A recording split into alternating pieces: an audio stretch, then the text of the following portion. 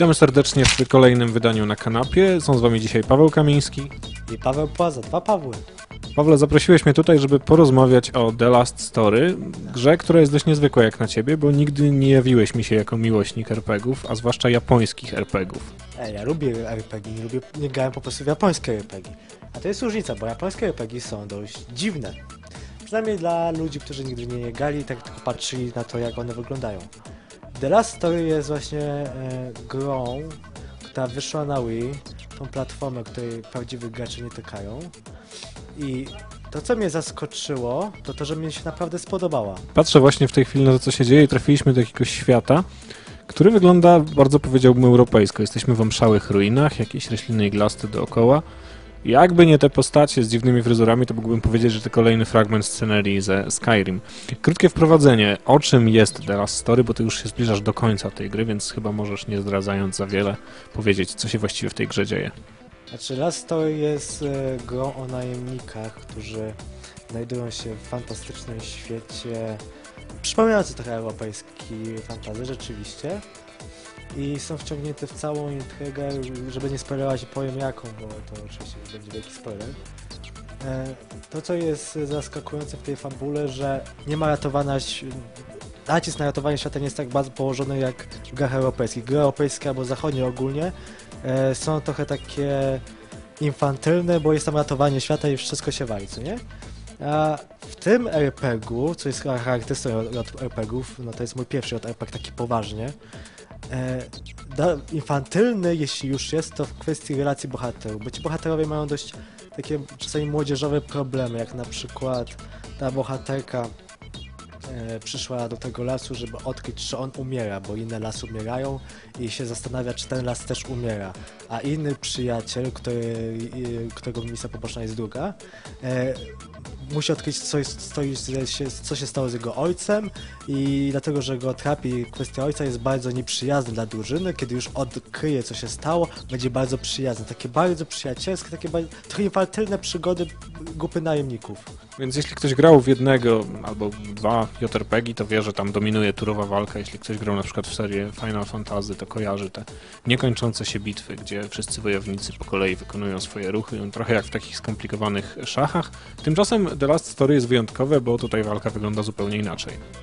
No właśnie, też tak czekałem na tytułowe walki, kiedy zacząłem grać i nagle się okazało, że wcale tak nie jest. Gra wcale nie jest taka turowa, jakby się zdawało. To jest czas rzeczywisty. I tutaj widzi, podchodzi nas przeciwnik, my go zaraz tak, ciachniemy. Kolejny przyjdą, o, już się zorientowali.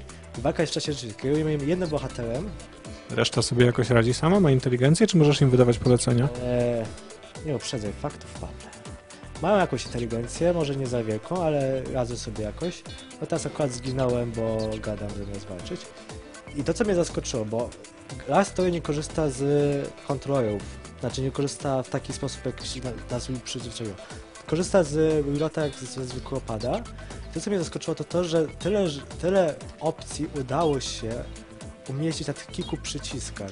Jest naprawdę zadziwiające, że twórcom tej gry udało się włączyć tryb dowódcy przy e, tych kilku przyciskach, które ma dostępne Wii. To jest e, zadziwiające. Tak jak i inne rzeczy, które można robić.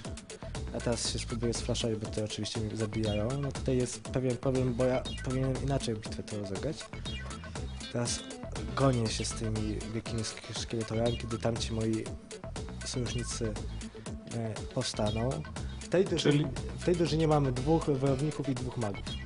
Czyli jak w większości RPGów chwila mm, działania, chwila niedziałania wystarczy, żeby drużyna zregenerowała się i wróciła do walki. Wspomniałeś o trybie dowódcy, czyli oprócz tego, że biegasz i wymachujesz bronią własnoręcznie, możesz też w jakiś sposób dowodzić swoim oddziałem. To jest właśnie ten typ dowódcy. Teraz jak... Możesz wydać polecenia każdemu. Tak. Mogę wydać każdemu polecenia i mogę na przykład e, kazać uleczyć albo położyć czary obszarowe. Kiedy czary obszarowe zostaną położone, co trwa trochę czasu, bo szczególnie, że oni już nie żyją, e, mogę, będę mógł w, nie wparować swoim atakiem. O, zabiliśmy ich.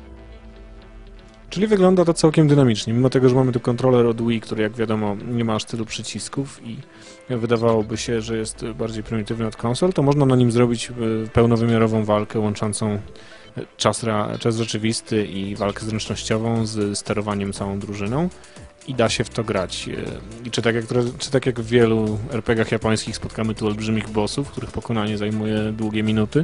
Tak, i tak jak w, każdy, tak w każdym dobrym walce z bossem, ważny jest słaby punkt. Jaki to jest słaby punkt, jak sądzisz?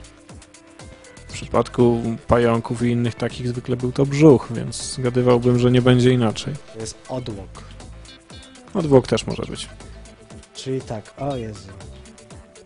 Walka wygląda na bardzo zręcznościową. Powiedz mi, czy w The Last Story dużo zależy od statystyki, od twoich e, przedmiotów, ekwipunku, czy też bardziej polega on, ona na twojej zręczności i wyczuciu czasu? Znaczy tak, wyczucie czasu jest ważne, bo to jest walka w czasie rzeczywistym, ale jest... Uważaj, bo... Aj, muszę się skoncentrować na chwilkę przed na walce z bossem. Przepraszam. O, i tutaj się właśnie zablokowało. Tego nie lubię też strasznie, że jak używamy specjalnej umiejętności, to może się zdarzyć, że się przyblokuje nasza postać. Walna odłok. Statystyki są o tyle ważne, że czasami po prostu jak już ma się, kup, zbierze się różne ulepszenia, to trzeba ulepszyć broń. Nie ma tak, że można na słabej broni przejść przez całą. Ale nie przesadzałbym z ich, e, e, z ich, z ich wpływem, bo nie jest aż tak bardzo duży. Ale czy trafienia twoją bronią zależą od tego, jak dobry jesteś w posługiwaniu nią, czy E, Zawsze trafisz, zawsze trafisz. E, To, co może się jedynie zdarzyć, to to, że przeciwnik sparuje uderzenie i wtedy o wiele mniej zadasz. Na przykład teraz, widzisz, wa- walnąłem w pająka od przodu, jako że jest opancerzony, to sparował je. Natomiast od tyłu, tylko może najpierw musi się ode mnie odwrócić tyłem, dlatego może każmy im moim towarzyszom. Ja się tutaj przesuń, guardet. Flare. Rzuciłeś kilka potężnych zaklęć obszarowych, żeby odwrócić jego uwagę? Tylko, że on teraz zrobił coś takiego, że rzucił na nas sieć. Kiedy rzuci sieć, Jak te pająki? jak rzuci sieć y, i przyciągnie jednego z moich towarzyszy do siebie, to go połknie. Połknie go w brzuchu i towarzysz wyjdzie z gry, więc trzeba uważać. Ja raz tak straciłem całą drużynę i wtedy musiałem walczyć sam z pająkiem, co nie było zbyt przyjemne. A teraz mam przynajmniej kilku. Widzisz? Szybko przychodzimy na jego tył. Na szybko, bo się już ode mnie odwrócił. Czyli myli się ten, kto po pierwszym rzucie oka na walkę w Last Story stwierdziłby, że to slasher z czysto zręcznościową walką. Ważne są zarówno statystyki, jak i dobór odpowiedniej broni i czarów oraz taktyka w trakcie walki, no co właśnie skutkuje pokonaniem tego pająka. Przenieśliśmy się teraz do miasta, żeby porozmawiać o temacie, który bardzo każdego miłośnika RPG interesuje, czyli o wyposażeniu, bo jednak nie ukrywajmy, że większość przyjemności w RPG płynie z ulepszania naszego herosa i wyposażania go w coraz e, to nowe zabawki do zadawania obrażeń. Jak to wygląda w The Last Story? Czy masz zupełną dowolność w tworzeniu y, swojego bohatera i tego, czym będzie się posługiwał? Znaczy zupełnej dowolności, w sensie nie można wytworzyć własnych przedmiotów, jeśli o to ci chodzi. E, Są pewne typy, znaczy możesz je domyśl, dowolnie kolorować i tutaj kolorowanie jest bardzo zbudowane i jak chcesz jakiś element pokolorować, proszę bardzo. Natomiast e, same przedmioty są jakby, są typy przedmiotów predefiniowanych, które możesz później ulepszać. I idziemy do sklepu Horasego, żeby sprawdzić to. I możemy ulepszyć broń. I to głównie się tak odbywa. Możemy kupować bronię, ale najpewniej znajdziemy jakąś w, podczas walk e, wśród łupów. Kiedy już przy, przyjdziemy z taką bronią do Horacego i będziemy mieli dużo pieniędzy, on nam ją ulepszy. O plus jeden, kto zadaje więcej obrażeń. Przy kolejnych poziomach może się zdarzyć, że o, kryta, kryta, e, szansa na to cios krytyczny wzrośnie o 20. Tylko, że musimy mieć 400 zł, a ja mam już 181, więc więc nie stać. Przy lepszych przedmiotach potrzeba jeszcze jakichś specjalnych yy, surowców, czyli na przykład kość salamandry, żeby mógł ulepszyć Killer Cutter do Nightmare.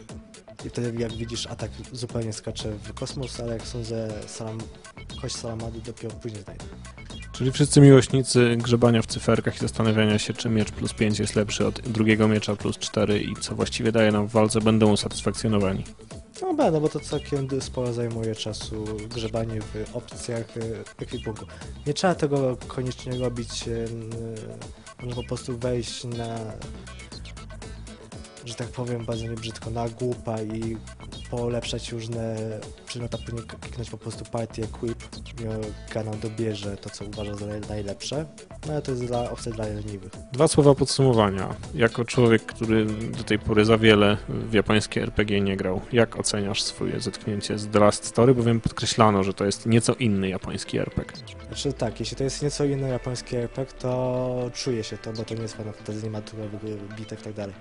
Ale mam nadzieję, że nie jest aż tak inny, żeby zaprzeczyć całemu e, temu gatunkowi, bo mi się spodobał ten gatunek w wydaniu Last i mam nadzieję, że jak sięgnę po Final Fantasy albo inne RPG, będę się równie fajnie bawił. Przyznam, że jestem zaciekawiony. Na pewno nie będziesz miał turowej walki, ale jak patrzę na tą tutaj, to wydaje mi się, że Last Story rozwiązało to bardzo fajnie. Czyli polecasz i fanom japońskich RPGów, żeby zobaczyli coś innego, i tym, którzy grali głównie w europejskie RPG, żeby zobaczyli, że japońskie też potrafią być e, fajne i nietypowe. Przede wszystkim polecam posiadaczom Wii, którzy jest stereotyp, że nie mają w co grać, no to Last Story temu skutecznie zaprzecza.